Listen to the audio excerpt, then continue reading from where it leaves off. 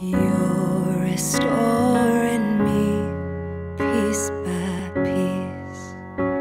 What's up my restored beauties? Welcome back to my channel.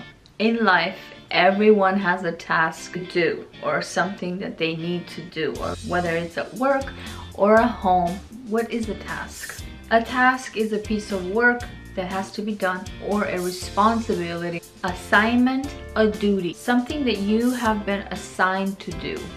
So what is your task in life? Task at work. And all of us have something that we are assigned or a task that we have to do during the day. Whatever we do in life, we're asked to do it with all of our heart. In this house, I have many tasks. A mother, wife, stay-at-home mom.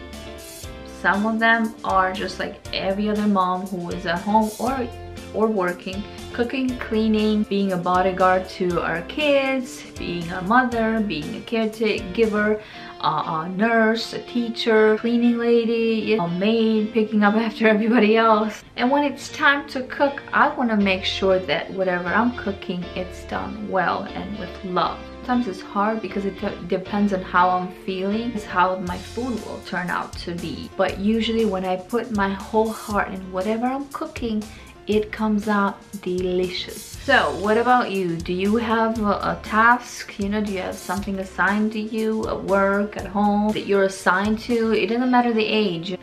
Um sometimes at work your boss will ask you something and your attitude will be like hey you know i'm not getting paid enough so i'm gonna do this task whatever he asks me or she halfway. Meaning i'm just gonna try a little bit but i am not putting you know everything into this task because I'm not getting paid for it. And I've witnessed people like that. I've actually witnessed teachers. I used to work at this school, I won't say the name or who the teachers, but I, I've heard it and I've seen the teachers and I've heard it with my own ears saying, you know, why should I clean that child's nose, you know? And these poor kids were like, having a runny nose and they were like one years old and two. What does a one year old and two year old know about cleaning their nose? Not really, you know? So yes, a teacher's there to teach and, and everything, but it doesn't hurt to pick up a tissue and clean that child's nose.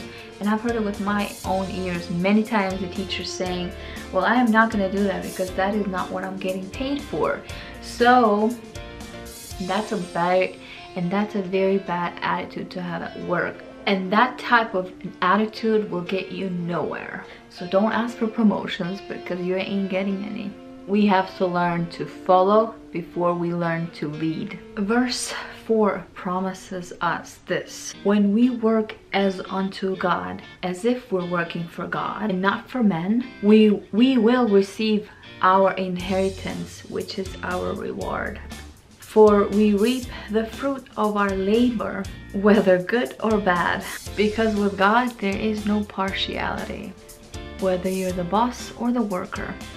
So do your job well, as if God is watching you, if you fear God, that is. And remember, He is watching and will reward you. So whatever task you are doing, do it with all your heart, you know, because if you are not if you are if you can't be trusted with a little task in life why should you be promoted? You know if you you if you can't be if you if you don't do a tiny tiny job at work you know something a little task that, that your boss gives you at work why should he or she promote you to a greater task or a greater position?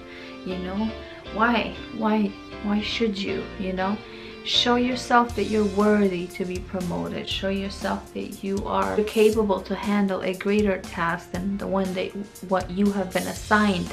What you have been assigned you do it so well. Somebody will always pay attention so and somebody will watch and you will be rewarded.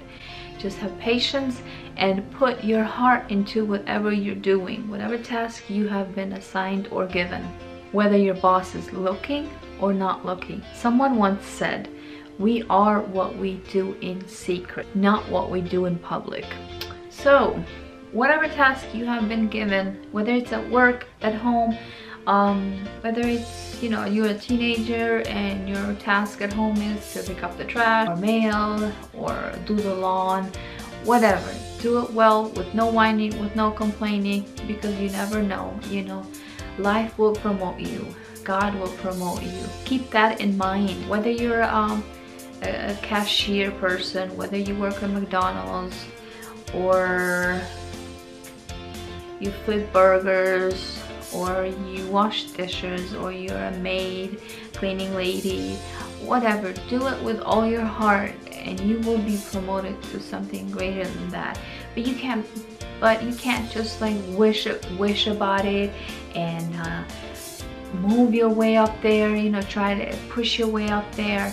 Because if and always complain oh I got this job. Oh man I gotta do this.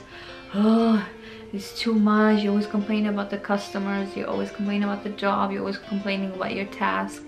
Uh, none of that is going to help you getting promoted or you moving up in life. So you have to forget about that you know and put your heart into whatever task you have been you have been given and you will be promoted you know when you least expect it.